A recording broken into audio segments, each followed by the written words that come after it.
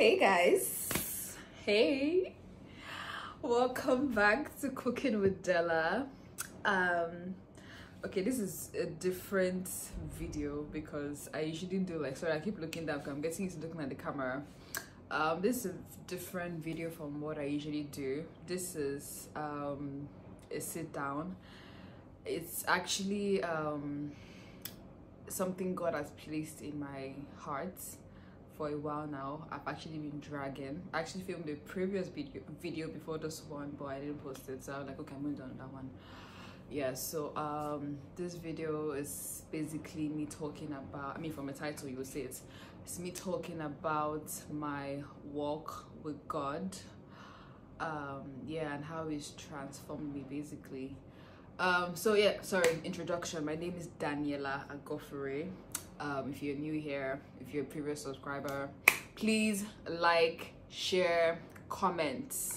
Thank you. God needs the support. Subscribe like share and comment. Yeah. Thank you so much. Okay. So let's i'm not i don't think i'm gonna edit this video so i want to be like really precise. Um so straight into the conversation for today.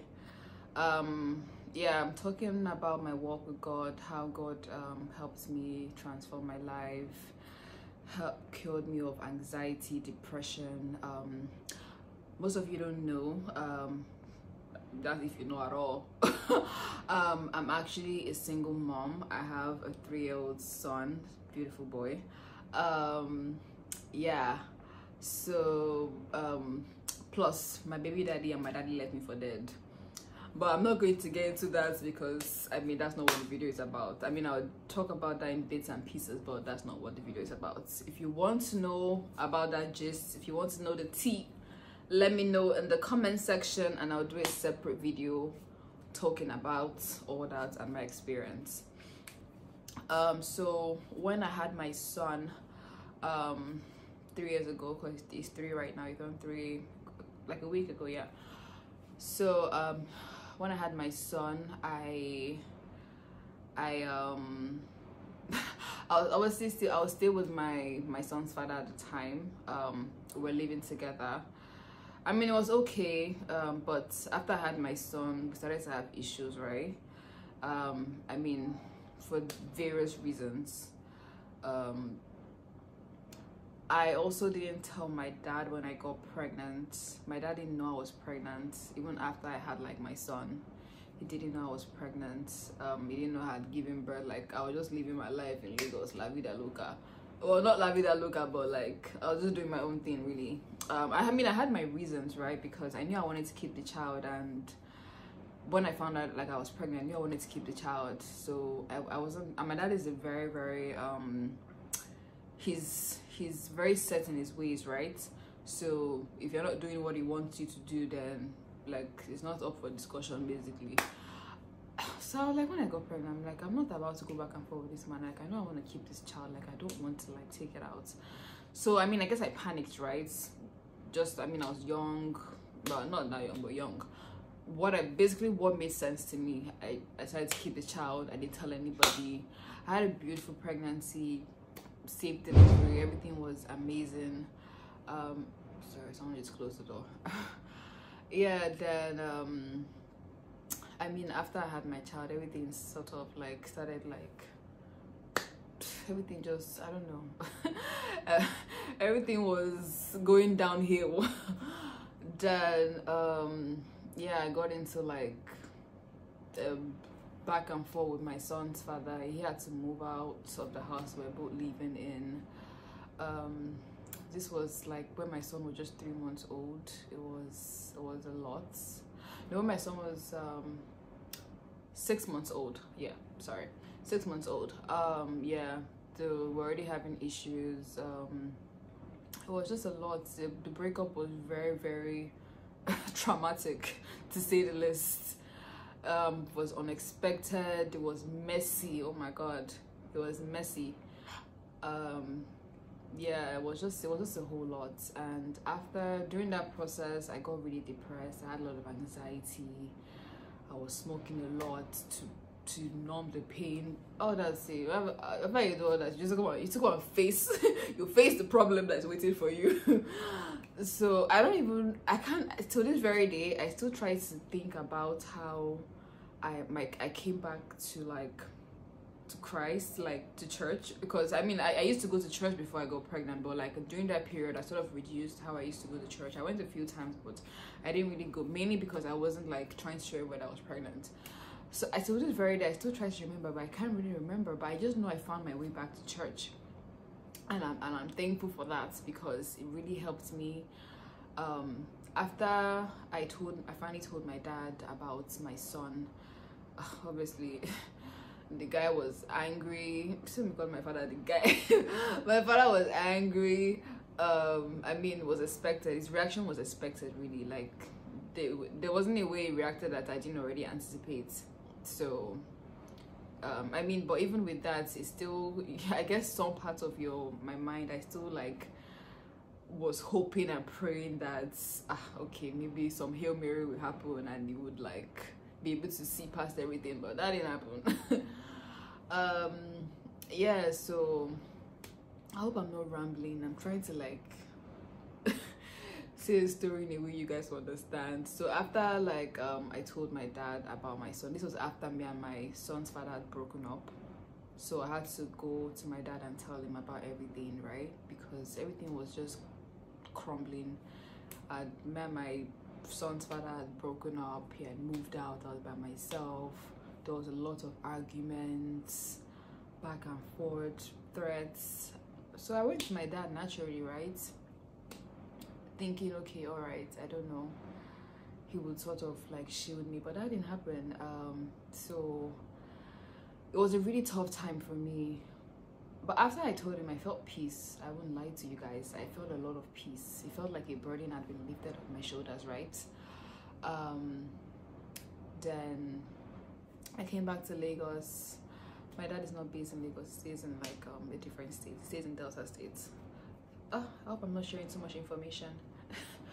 uh, well, it stays in a different state than I do. So um, I came back to Lagos and um, I guess I was trying to figure out life. I was still very depressed. I didn't know what I was doing. I didn't have a job. like life was just hitting me left and right. I was so emotionally downcast. If you if you've heard that, if you know what I'm talking about, you know what I'm talking about. So I went to church this Sunday. I'll never forget it. That's when everything shifted, right? I I don't even think I was paying attention. So I go to Harvesters International Christian Center. Beautiful church, amazing pastors. Pastor Bolaji is amazing.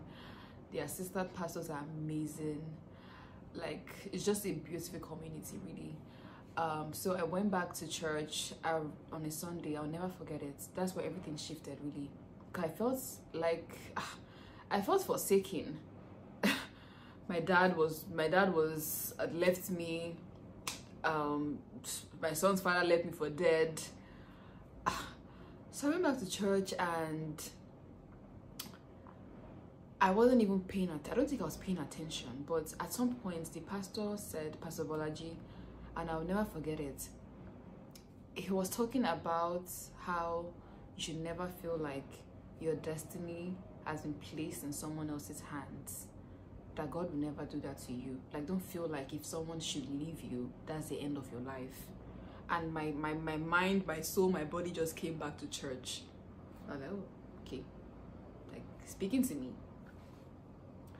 So this this is really for like anyone out there who's struggling. Maybe you're a single mom, you're going through like a hard time you feel like your whole world is crumbling you'll never be able to overcome whatever you're going through right now you will like this is three years down the line and absolutely no regrets. God is just god has been amazing. God has been wonderful really like don't don't beat yourself up for anything.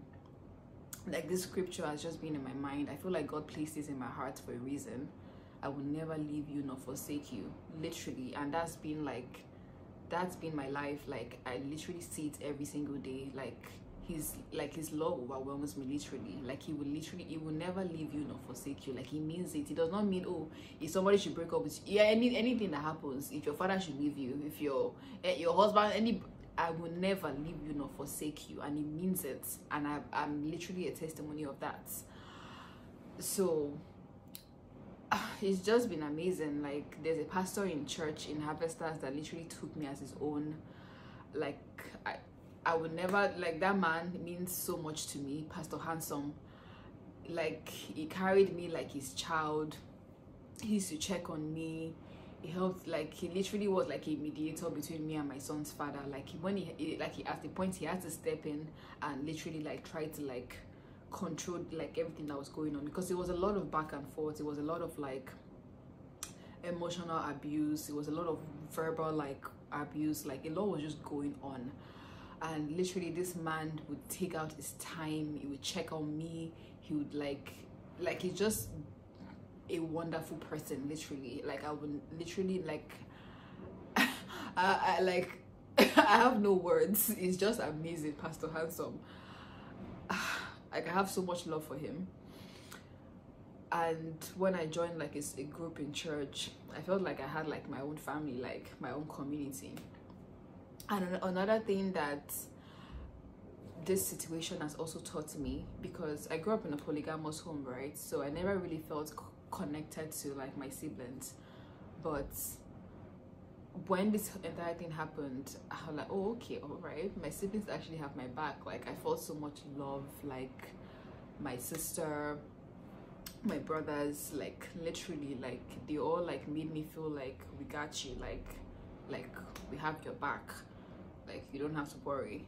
And it's just been it's just it's been an amazing journey and i can't wait to see what like what god has in store for me because i know he has so much more like so much more in store for me. Like he tells me like it's just been amazing literally. Like i'm in such a good place right now than i was eight, two years ago so i just hope this is able to help someone out there. Like if you're going through a tough time and you feel like this is the end of the world it's not the end of the world.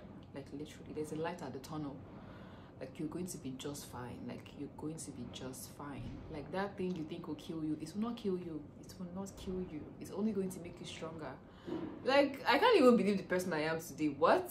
Like Daniella of today is not Daniella of two years ago. It's not Daniella of yesterday. Like god has been so good god has been amazing and I know he's just getting started with me. He's just getting started. So yeah, I hope this has been able to help someone out there. Um, yeah, because God placed it in my heart for a while now, and I just feel like it's meant to reach someone out there. So if you know anybody that you feel like this message might resonate with, please share with them. It can help someone. Yeah, thank you guys so much for staying here with me I'll catch you guys in the next video. If you have any recommendations, any type of videos you want to see, please let me know in the comment section and I will get that up for you guys. Thank you. Mwah. See you guys next time.